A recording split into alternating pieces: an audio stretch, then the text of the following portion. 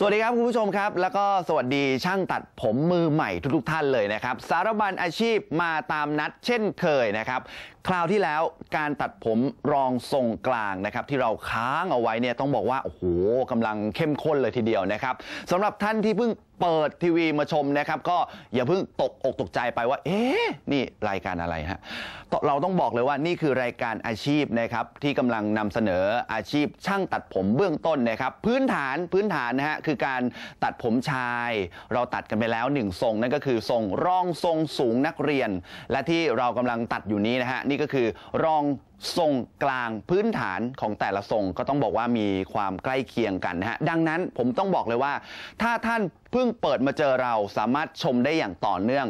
มีข้อแม้ว่าท่านต้องอยากเป็นช่างตัดผมนะครับอืมสำหรับวิชาชีพช่างตัดผมนะครับ วิชาการนั้นต้องบอกว่ามันคงไม่แบบ ไม่ยากเท่าไหร่ ส่วนใหญ่จะเน้นไปทางเรื่องของทักษะ แล้วก็รวมไปถึงการลงมือปฏิบัตินะครับ อาศัยทำบ่อยๆ ตัดบ่อยๆ ผมว่าเดี๋ยวก็คล่องไปเองนะฮะ เอาละครับสำหรับแฟนประจำคงคันไม้คันมือแล้ว แหมอยากจะตัดกันแล้วใช่ไหมฮะ เราไปชมรายการกันเลยดีกว่าครับ สวัสดีค่ะสวัสดีค่ะค่ะ วันนี้เราจะมาแนะนค่ะำนะคะการเรียนเรื่องนะคะ การตัดผมทรงรองทรงกลางนะคะ ซึ่ง ที่ในผ่านส่วมานในส่วนของช่วงกลมกลืนใช่นะคะเราผ่านกันไปแล้วคือในเรื่องของโครงกระโหลกศีรษะการแบ่งสัดส่วนนะคะ แล้วก็ในส่วนของจุดขาวจุดขาวนะคะตัดจุดไปแล้วค่ะจุดนะคะต่อไปที่ที่เราจะดูกันก็คือในส่วนของความกลมกลืนของทรงค่ะนะคะดูจากลักษณะทรงเหมือนเดิมนะคะ ว่าดูจากในภาพนะคะอันนี้นะคะ ภาพนี้คือลักษณะของทรงรองทรงกลางนะคะ ดูจากด้านข้าง นะคะ ด้านข้างเนี่ยเราไถกันไปแล้วครั้งที่ผ่านมาครั้งที่ผ่านมานะคะนะคะ ก็คือจุดขาวนะคะ จุดขาวผ่านไปแล้วท้ายทอยกับเหมือนกันจุดขาวผ่านไปแล้วนะคะค่ะเอ่อสำหรับวันนี้จะเป็นในช่วงของความกลมกคลืวามนกลมกลืนในช่วงนี้นะคะ ในช่วงที่เราเห็นเงาของลายผมเนี่ยค่อนข้างชัดเจนแล้วก็เชื่อมต่อกับส่วนยาวสุดของผมนะคะค่ะเรามาดูจากภาพการแบ่งนะคะ สัดส่วนในการตัด นะคะว่าจุดขาวที่เราตัดไปแล้วเนี่ยนะคะดูจากศูนย์นะคะไม่ถึงเลข2เนี่ยนะคะก็คือจะเป็นจุดขาวนะคะก็คือความขาวของจุดนะคะท้ายทอยหรือจุดจรจนถึงด้านบนเนี่ยอยู่ที่ประมาณด้านข้างนะคะ อยู่ที่นิ้ว1ครึ่งนิ้วไม่เกินนิ้วครึ่งนะคะ ส่วนด้านหลัง ด้านหลังนะคะ ดูจากภาพด้านหลังเนี่ยนะคะ ความขาวเนินกลมกลืนตรงท้ายทอยเนี่ยนะคะ อยู่ที่ประมาณ 2 นิ้วถึง 2 นิ้วครึ่งเท่านั้นเองนะคะ ความยาวของส่วนที่เราเห็นไหล่ผมอะนะคะค่ะ ทีนี้เราจะมาดูการตัดจริงด้วยหัวหุ่นตุ๊กตานะคะ แต่ว่าอาจารย์รัตน์จะแนะนำในเรื่องของการวางหวีก่อนนะคะ จุดขาวนวลหรือ กลมกลืนนะคะ จะวางหวีในลักษณะเดียวกัน เพียงแต่ว่ายกระดับขึ้นไปนิดนึงค่ะนะคะ จากเดิมที่เราดูจากในภาพอันเนี้ยนะคะ เป็นการตัดวางหวีตัดจุดขาวค่ะนะคะ แต่ถ้าเราจัดตัดจุดกลมกลืน วางให้สูงขึ้นไปอีกนิดนึง แต่วางหวีไม่ว่าจะเป็นแนวนอน แนวเฉียง 45 องศา ทั้งด้านข้างหู ทั้งด้านท้ายทอยนะคะ หรือว่าด้านซ้ายนะคะ ก็ ในจุดที่ตัดจุดกลมกลืนเนี้ยก็วางหวีในลักษณะเดียวกันค่ะนะคะมาดูอาจารย์ตัดหัวหุ่นตุ๊กตานะคะ เริ่มจากด้านขวาก่อนนะคะ เราจะวางหวีนะคะก็คือด้านหน้าเลยคือ วางหวีแนบ 45 องศานะคะ วางหวีนะคะ หน้าหวีด้านล่างแนบนะคะ เผินหวีขึ้นมา 45 องศา เพื่อเก็บงานด้านหน้าให้ขาวด้านหลัง นะคะ ยังเหลือเนื้อผมอยู่นะคะ แล้วก็ไถปัตเตอร์เลียนไปบนหวีนะคะ เพื่อเก็บเนื้อผมออกนะคะจะรัดนะคะจะใช้หวีซึ่งเป็นหวีใหญ่นะคะ ในการตัดแบตเตอรี่ยน เพราะว่าจะได้เก็บความหนาของผมออกด้วยค่ะนะคะ คือเก็บส่วนบนนะคะ เราก็จะได้ผมในส่วนของที่มีความขาวนะคะ แล้วก็ในส่วนของกลมกลืนที่มี ลายผมหรือเงาของผมเนี่ยเห็นได้ชัดเจนมากขึ้นนะคะ เราจะเก็บในส่วนของด้านข้างหูนะคะ ด้านข้างหูเราจะวางหวีในแนวนอนนะคะ ผมที่อยู่ในหวีทั้งหมดนะคะ เราจะเก็บออกนะคะ การวางหวีคือช้อนหวีเข้าไปในเส้นผมนะคะ ช้อนหวีเข้าไปในเส้นผม สันหวีแนบกับศีรษะนะคะ สันหวีด้านนอกด้านบนหรือปลายหวีตรงนี้นะคะ ก็คือ 45 องศา เราจะไม่วางแนบ ลงไปเลย เราจะช้อนผมนะคะ โคนหวีแนบด้านบนนะคะ 45 องศา แล้วก็ปัตเตอร์เลียนเก็บผมบนหวีนะคะ ทั้งหมดออกนะคะ เราก็จะได้การตัดแนวกลมกลืนนะคะ ที่มีความสั้นของผมเกิดขึ้นนะคะ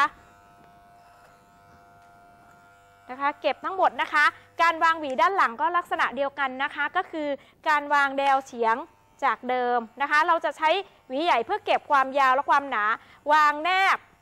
45 องศาเผินออกนะคะ เก็บงานนะคะ โดยการปัตเตเลียนไถเศษผมที่เหลืออยู่ด้านบนนะคะ อยู่บนหวีนะคะ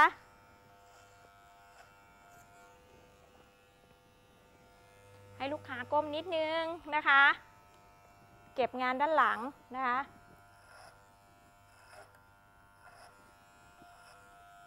ช้าๆนะคะ ค่อยๆไปนะคะ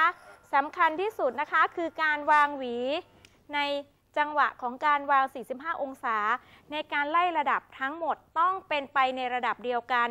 ถ้าเกิดว่าเราไล่ไม่ไปในระดับเดียวกันนะคะ วางหวีลึกเกินไปนะคะ ไม่ได้ 45 องศาโดยตรงนะคะ ความเว้าแหว่งของกรอบผมที่ได้เนี่ยจะเห็นได้ชัดเลย เพราะฉะนั้นการวางหวีจะต้องวางอยู่ที่ 45 องศา ปลายแนบ นะคะเผินออกมานะคะ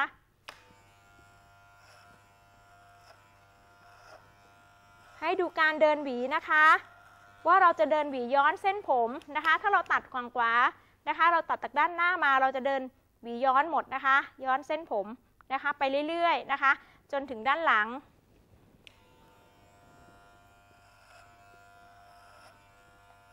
นะคะ 45 องศาเหมือนเดิมนะคะ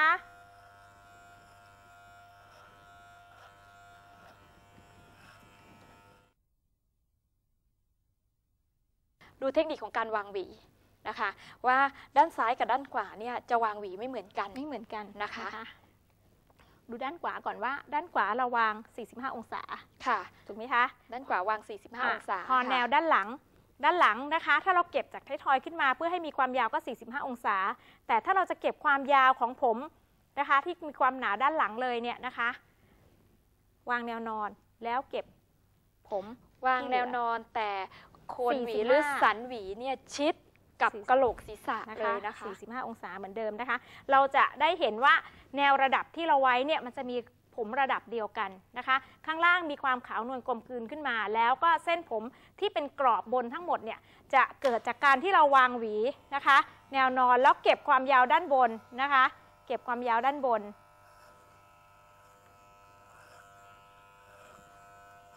อันนี้ในส่วนด้านซ้าย ส่วนด้านซ้ายเนี่ยนะคะ วางหวีในแนวตั้งนะคะ ตรงหลังหูนะคะ คือเราไม่ตั้ง 45 องศาแล้วนะคะ เราไม่เอียง 45 องศานะคะ แต่เราวางหวีในแนวระดับของแนวตั้งนะคะ เพื่อเก็บบริเวณหลังหูตรงนี้ให้ดูกลมกลืนกันมากขึ้นค่ะ ในด้านซ้ายนะคะที่เราไล่กันนะคะ เดี๋ยวเราจะให้เห็นด้านซ้ายชัดๆ กันอีกทีนึงนะคะ เรามาดูด้านซ้ายกันอีกทีนึง นะคะการวางหวีของด้านซ้ายนะคะ ถ้าจะให้ผมสั้นขึ้นให้วางหวีในแนวตั้งนะคะ เพื่อเก็บผมบริเวณหลังใบหูเนี่ยให้สั้นมากขึ้นนะคะด้านซ้ายกับด้านขวาเนี่ยจะวางหวีต่างกันนะคะชันดาอธิบายไปเรื่อยๆเลยค่ะค่ะ ดูจากที่อาจารย์รัดวางหวีแล้วนะคะ ว่าจะเห็นความกลมกลืน เพิ่มมากขึ้นนะคะ บางจุดนะคะที่ผมจุดขาวกับจุดกลมกลืนเนี่ยยังไม่ไม่ไม่กลมกลืนกัน อาจารย์รัดก็จะใช้ปลายของหวีนะคะวางลงไปให้แนบแนบกับศีรษะนะคะ แล้วก็ใช้ปัตเตอร์เลียนไล่นะคะดูเทคนิคของการใช้หน้าปัตเตอร์เลียนนะคะ ว่าเวลาที่เราใช้หน้าปัตเตอร์เลียนเนี่ยต้องใช้ให้ถูกแถบด้วยนะคะ ถ้าไม่งั้นเนี่ย ส่วนเกินเนี่ยเดี๋ยวมันจะทำให้ผมจุดอื่นเนี่ยเว้าแหว่งหายไปนะคะอาจารย์รัตน์ตอนนี้ยังวางหวีเริ่ม 45 องศาแล้วนะคะ เพื่อเก็บขอบให้ดูกลมกลืนค่ะถ้าเป็นลูกค้าเนี่ยเราก็ให้เขาก้มศีรษะนิดนึงนะคะ เราจะได้เก็บความกลมกลืนได้มากขึ้นค่ะ วางหวีแล้วก็สิ่งสำคัญนะคะต้องวางหวีในระดับเดียวกันนะคะความยาวของเส้นบนจะได้สม่ำเสมอกัน แล้วปลายหวีของด้านล่างที่เราต้องการเก็บผมให้แนบชิดกับหนังศีรษะเนี่ยนะคะ ก็ต้องวางไล่ในระดับเดียวกันเหมือนกัน ค่อยๆเก็บงานนะคะ เก็บให้เกิดความนวลเนียนขึ้นไปนะคะ เพราะว่าจุดรอยเชื่อมต่อนะคะ ระหว่างส่วนที่ 1 กับส่วนที่ 2 เนี่ยนะคะ จะต้องนวลขึ้นไปเลยนะคะ จะไม่ให้มีขั้นให้เห็นชัดนะคะ เพราะฉะนั้นการเก็บงานส่วนนี้จะต้องละเอียดนิดนึงนะคะว่าวิธีการเก็บเนี่ยถ้าเราจะให้ส่วนล่างเลยนะคะ มีความนวลเนียนขึ้นไป ด้วยความหนาของหวีซี่ใหญ่เนี่ยมันหนาอยู่แล้วใช่ไหมคะเราวางหวีแล้วก็เดินหวี นะคะ ส่วนผมที่เกินหวีขึ้นมานะคะ เราเราจะจะเห็นเห็นชัดแล้วเราก็จะตัดออกหมดนะคะเนี่ยนะคะ เราจะเห็นไหมคะการที่เราเดินหวีไปเรื่อยๆ เราจะเห็นผมส่วนที่มันเลยหวีขึ้นมานะคะสำคัญองศาของหวีนะคะ ต้องค่อยๆฝึกนะคะ ในการวางหวีให้อยู่ในระดับแนวเดียวกันนะจะทำให้ได้ความสั้นยาวของผมที่สม่ำเสมอกัน นะคะ ในส่วนของไรผมบางส่วนนะคะ คือกรอบผมบางส่วนที่มันยังเป็นขั้นอยู่นะคะ ก็คือไล่ให้เนียนเท่ากันหมดเลยนะคะ เพราะฉะนั้นสำคัญที่สุดคือเวลาที่เราวางหน้าหวีไปเนี่ยนะคะ ถ้าเราไปกดหวีนะคะ เรากดหวีเพื่อให้แนบแน่นขึ้นเนี่ย เราจะเห็นผมขึ้นมาเยอะ แต่ส่วนของผมที่ต่อจากจากตรงส่วนบนเนี่ยมันจะ แบ่งเข้าไปทันที เพราะว่ามันเกิดการแรงกดหวีจะไม่ได้เป็นแนวตรงนะคะ แนวตรงหมายถึงหน้าหวีจะต้องตรงเอียง 45ค่ะปลายหวีชิดนะคะ ด้านบนเผินออกนะคะ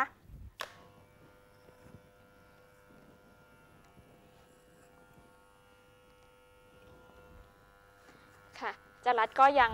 วางหวีในแนว 45 องศา ค่อยๆ เก็บผมงานค่ะเก็บขอบนะคะ ในจุดขาวกับจุดนวล นะคะ ให้ดูสม่ำเสมอกันนะคะ ไม่ให้เห็นขอบมากจนเกินไปนะคะ เพราะว่าถ้าตัดผมลองทรงกลางเนี่ยเราเห็นขอบที่ชัดเจนเกินไป จะมองเหมือนศีรษะของลูกค้าเนี่ยกลางออกมานะคะ หรือว่าศีรษะส่วนบนเนี่ยจะดูกว้างจนเกินไป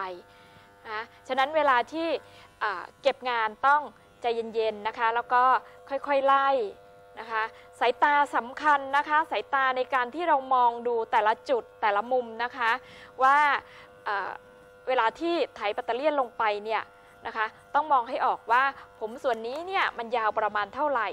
หรือเกิดลูกค้าบางท่านเนี่ยศีรษะบุ๋มศีรษะแฟบนะคะหรือศีรษะ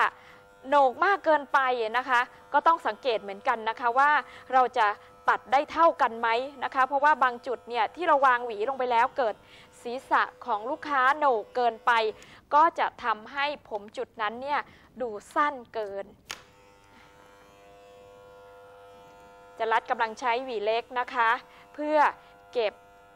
จุดขาวกับจุดนวลนะคะ ให้กลมกลืนกัน นะคะ ถ้าเราใช้หวีเล็กนะคะ ในแถบหน้าหวีใหญ่เนี่ยนะคะ ก็คือหวีเล็กนี่แหละ แต่เอาส่วนที่หน้ากว้างมากกว่าเนี่ยจะเก็บงานได้ไม่สั้นจนเกินไปนะคะ ถ้าเราใช้แถบเล็กๆมาก จุดนั้นจะเป็นจุดที่ทำให้เราเก็บผมต้องการความสั้นแล้วก็บางมาก เราจะได้จุดนะคะ จุดความความเนียนนะคะของความกลมกลืน คราวนี้ให้สังเกตนะคะว่า พอเรามีความเนียนความกลมกลืนแล้วจะเหลือขอบเส้นบนที่มีความยาวลงมานะคะ ขอบที่เราเผินปัตเตอร์เลียแล้วเราจะตัดมาแค่นี้นะคะ แค่หน้าหวีของเรานะคะฉะนั้นส่วนที่เป็นอยู่ด้านบนยังเป็นขอบอยู่นะคะ เราจะเก็บขอบนะคะ ด้วยกันไกรนะคะค่ะนะคะเทคนิคต่อไปที่เราจะใช้ก็คือเราจะเริ่มใช้กันไกรนะคะ เป็นการเก็บขอบระหว่าง ผมส่วนล่างกับผมส่วนบน ที่เมื่อสักครู่เราไถปัตเตอร์เลียนผ่านไปนะคะ ลองดูแนวขอบกันนะคะว่าขอบจากด้านข้าง คือผมเส้นบนที่ยาวลงมา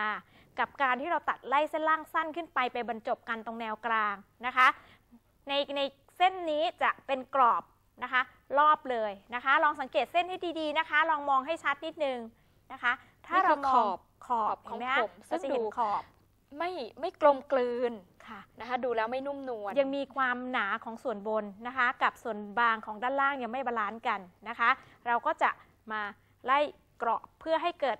ความเนียนมากขึ้น การไล่กรอบตรงนี้เราจะใช้กรรไกรนะคะกรรไกรฟันเราจะใช้กรรไกรฟันปลานะคะหรือเขาว่าเรียกกันว่ากรรไกรฟันปลาจริง ๆ เป็นกรรไกรที่เป็นซี่ห่างๆความห่างของซี่นะคะจะมีผล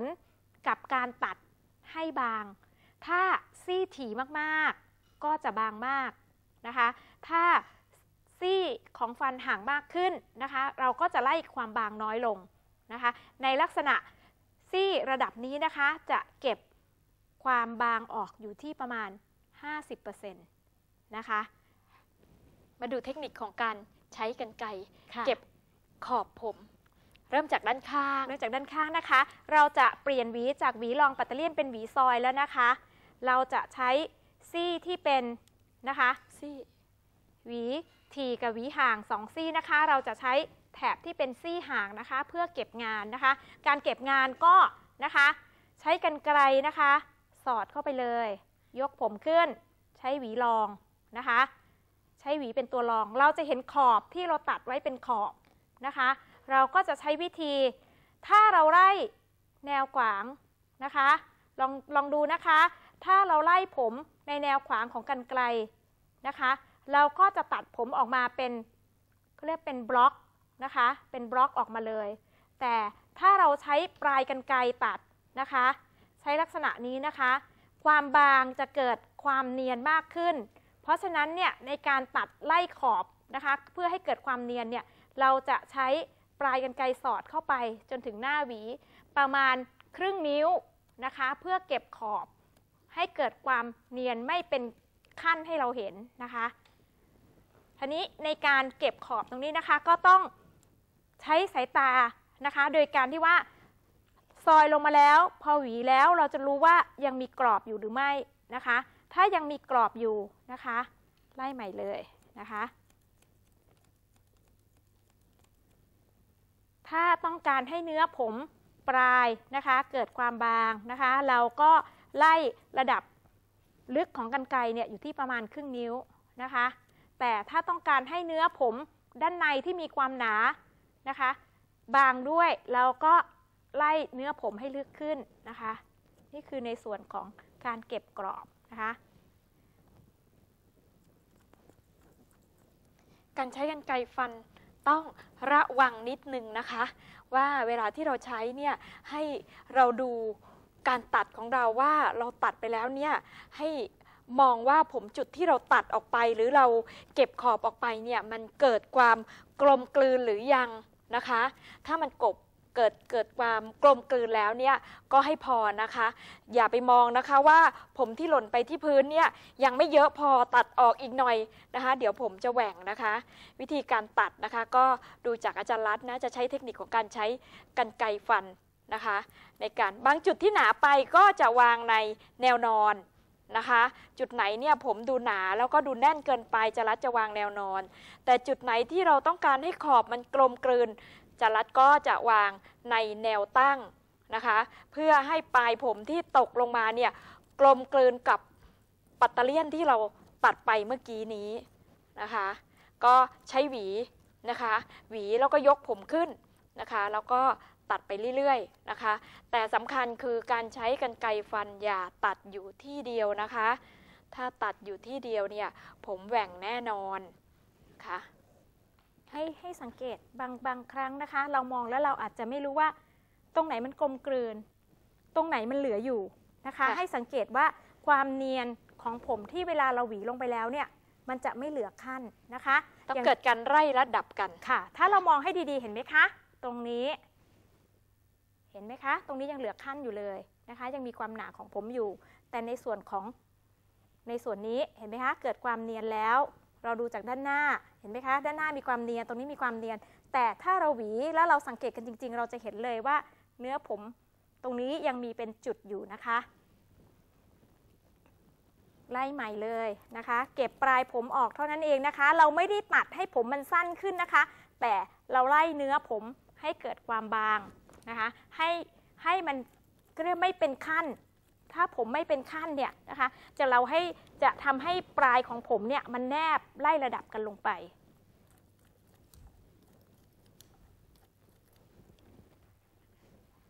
นะคะบียกไปเรื่อยๆ รอบๆ ศีรษะเลยนะคะสำคัญคือการตัดด้วยกันไกรฟันแล้วผมสั้นเนี่ยนะคะอย่าตัด ให้ชิดโคนมากจนเกินไปนะคะ ผมสั้นอยู่เนี่ยถ้าเราตัดชิดโคนมากเกินไปเนี่ยผมจะเขาเรียกจะเกิดการยกโคนของผมทำให้ผมมันพองตัวออกมา เพราะว่าผมเส้นสั้นเนี่ยจะไปค้ำผมเส้นยาว แทนที่เราต้องการให้ผมมันดูเรียบเนียนกลมกลืนกับกลายเป็นพอตัดเสร็จแล้วผมชี้ตั้งฟูสำคัญค่ะให้ดูในเรื่องของเทคนิคการใช้กันไกนะคะ ก็คือวนรอบกรอบทั้งหมดเลยนะคะ วนรอบกรอบทั้งหมดนะคะ ให้เกิดความนวลเนียนทั้งศีรษะเลยนะคะ ดูว่าส่วนไหนที่มันยังหนาอยู่นะคะ ก็ไล่ซะเพื่อให้ปลายมีความนุ่มขึ้นนะคะ แล้วไม่เป็นกรอบให้เห็นชัดนะคะ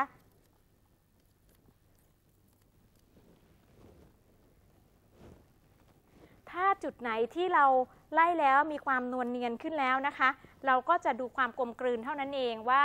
ได้หรือเปล่านะคะนะคะ รอบศีรษะแล้วนะคะ เราจะเห็นความกลมกลืนรอบศีรษะนะคะ ถ้าเป็นในส่วนด้านบนเลยนะคะ เราจะดูกันในตอนต่อไปที่เราจะสร้างทรงจริงให้ดูด้วยนะคะฉะนั้นในส่วนของการ ตัดผมรองทรงกลางนะคะในส่วนของความกลมกลืนนะคะ เราก็จะเห็นได้ชัดถึงจุดขาวจุดกลมกลืนนะคะ แล้วเก็บขอบในส่วนที่มีความยาวด้านด้านบนลงมาบรรจดบรรจบให้มันกลมกลืนกันนะคะค่ะ ก็เป็นนั้นว่าในการตัดผมทรงรองทรงกลางนะคะ ด้วยจุดขาวจุดกลมกลืนะนะคะ ก็หวังว่าท่านผู้ชมคงจะ ตัดได้บ้าง ตัดได้บ้างนะคะนะคะเอาไปฝึกฝนค่ะนะคะทำให้เป็นประจำนะคะ หรือว่าจุดไหนที่ตัดไปแล้ว เกิดใช้หัวตุ๊กตาเป็นหัวหุ่นนะคะ ก็ให้ใช้วิธีการฝึกลมแบบที่อาจารย์รัตน์บอกก็คือปิดปัตเตอร์เลียนนะคะ แล้วก็ไขใช้ปัตเตอร์เลียนเนี่ยวางตำแหน่งให้ถูกต้องฝึกให้เป็นประจำเกิดความคล่องมือแล้วก็จะทำให้เราทำงานได้ง่ายขึ้นค่ะค่ะ บอกได้เลยนะครับว่าโอ้โหเข้มข้นขึ้นเรื่อยๆนะครับสำหรับการตัดผมของเรา อย่างที่บอกกันไว้นะครับ ตั้งแต่ตอนแรก ๆ ถ้าเกิดว่าคุณผู้ชมท่านใดนะครับ มีคำถามหรือว่าจะเป็นข้อสงสัยไม่เข้าใจทรงไหนก็ตามนะครับ อย่าเก็บเอาไว้ส่งมาได้เลยนะครับ ตามที่อยู่ที่ปรากฏอยู่ที่หน้าจอขณะนี้นะครับ ทีมงานจะได้รวบรวมข้อมูลแล้วก็นำไปให้อาจารย์นะครับ ตอบกันแบบว่าให้รู้ลึกรู้จริงกันไปเลย ไม่ต้องเกรงอกเกรงใจกันนะครับ ก่อนจากกันวันนี้นะครับ กลัวจะลืมครับผมเลยนำข้อคิดดีๆสำหรับช่างตัดผมมาฝากอีกเช่นเคย ต้องบอกเลยนะครับว่าท่านผู้ชมเคยหรือเปล่า